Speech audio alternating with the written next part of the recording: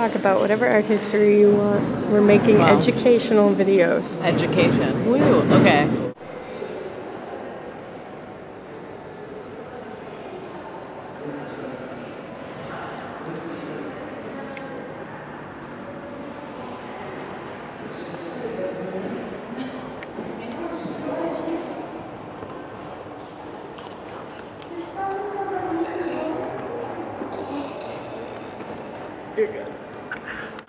Tell me what's wrong with this statue. Oh, so apparently they think that it's a female head, but according to the one of the origin stories of Athena, it was that Zeus got a horrible headache, and so he asked the blacksmith god, what Hephaestus. Hephaestus, to crack his skull open to see what was wrong, which was apparently a godly thing to do. But anyway, so when he cracked his skull open, Athena popped out. So it's a little awkward because I don't think this is female. I'm pretty sure it's supposed to be Zeus because there's no actual reason why Athena would be perched on top of another female's head. But it says Nike and not Athena. Athena is Nike, and she's a Nike is technically a victory sign, but it's vice versa for Athena is what a Nike is. Tune in next time to Your Museum is Wrong and You Should Feel Wrong. So I'm going to be emailing Jen and asking her about this. Also, the museum. Also, possibly the museum to inform them. But it could also be two people's opposing theories because they do that a lot and then they just pick the one that they like more. So there could be probably like 10 other art historians that are really angry about this and are just like writing papers, and this is probably cited in their horribly long education papers 10 of the 12 art historians in, in the real world are angry about this, and the two are so proud. One probably works here. Who does it resemble? Okay, so it resembles Tiberius, um, who was the first Roman emperor to choose that to be that his be his pose on the Roman coin.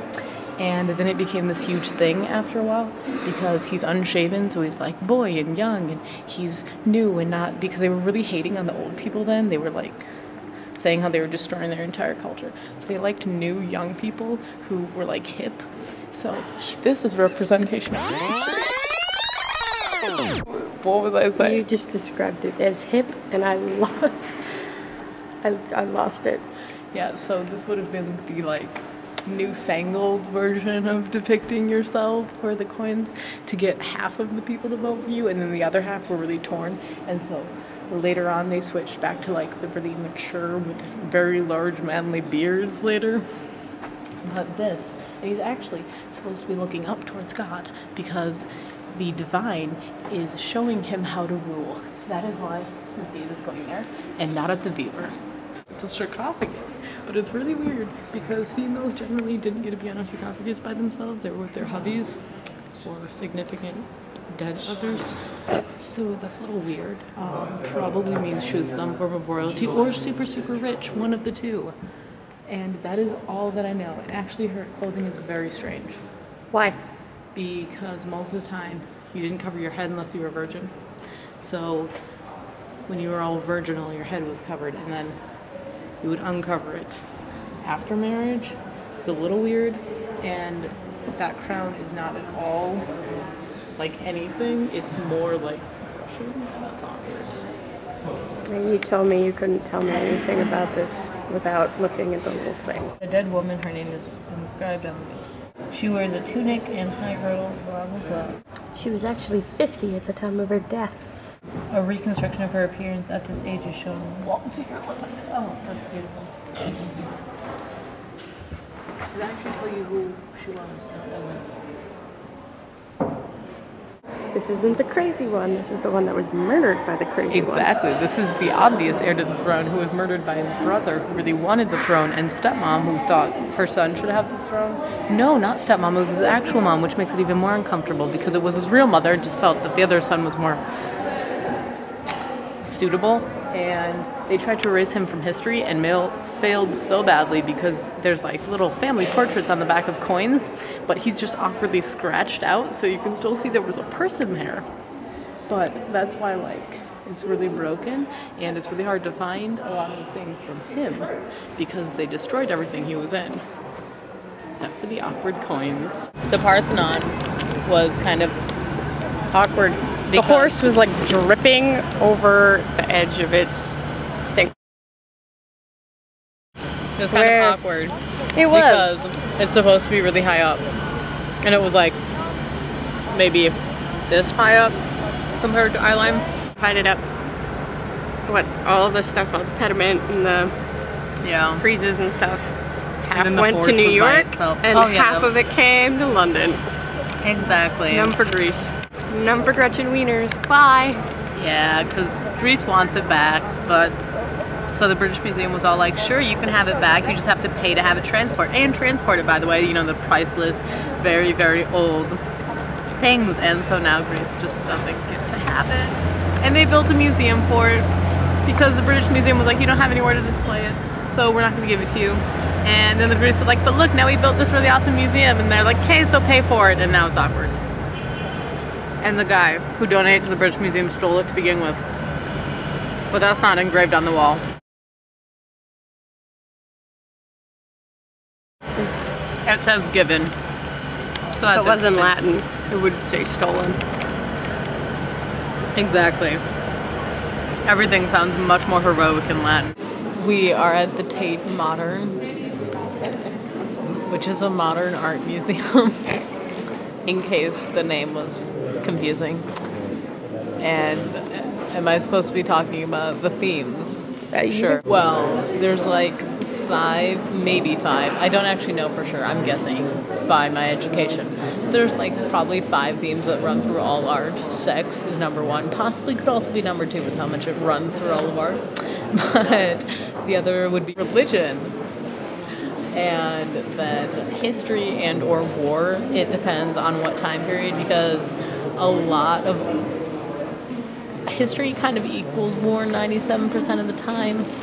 War and government, because 60s, 70s, and around there would have been more government and anti government and things like that. And then there's those propaganda, which goes underneath history. It's a subcategory. And now I've run out of categories. I did religion. Mm-hmm. I feel like just recording random events is also one. Oh, also psychology. about- Psychology is crazy in modern art. What about just like, yeah, psychology, but like daily life too? Yeah. Like, don't we just like, this is the chair in my room. I feel like that's mockery of Van Gogh because he has a he has I a like painting called The Chair. I, I love know. Van Gogh. And his bedroom and all sorts of things like that. I know. Van Gogh I like brings Van Gogh. happiness. But- and did you know he didn't like- kill himself? They discovered this. He was killed. After everything, he did not commit suicide. He was killed. But um, Fun fact for you. The manically depressive artist that everyone thinks killed himself did not. yes. but but I just feel like uh, things we see happens Yeah. a lot too. I was not mocking Van Gogh. I was mocking the Little Tikes chair that was a part of a modern art exhibit in the Walker. Little Tikes chair. Yep, it was a Little Tikes chair with Kleenex on it. You can ask my mom about it. That was also when she, Banksy's the one. Yes. the, the Little Tikes chair was about pushed her over the edge from modern art because she's like, that's in my house. That's not modern art. Banksy was the one who purchased a urinal and just like I don't know, this was like probably 30 years ago, so they looked at it, but it was like a little one like this. Wrote his name, Banksy was here, submitted it into an art gallery, got into the art gallery, they realized what it was, decided that was a little uncomfortable, had to cover it with a curtain because it was no longer appropriate for viewers. I don't understand And he art. was commenting commenting on what can get into a museum and he said if this can get into a museum then you really need to reevaluate what you consider to be art Well, I and he submitted it on to a one. modern art museum and that is Really why agree. he does street art and does not submit yeah there was something earlier about how the lovely painted one color canvas in the 90s 80s or the 90s red canvas that we just painted red in its no, entirety. black too was also. Um, there was a Russian artist who did it for propaganda during the time, the dark '90s in Russia, when everyone was drinking themselves to death. They still do that. It's less so now because most most of them are dead. all the all the people who didn't like the change of government drank themselves to death, and they were mainly men. I know. 40-year-old men. And then all the punk rockers merged because they weren't being like you know yelled at for being a punk rocker. So yes, not all of the plain covered canvas are just some dude painting a canvas one color. Most of the time, they actually have meaning behind it. Also, a lot of the time, it's layers of separate colors and not them just painting with one color. And a dramatic zoom on Picasso.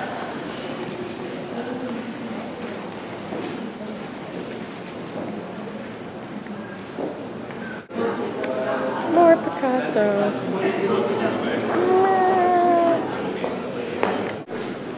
It looks kind of like a bunny to me. I think it looks like a heart.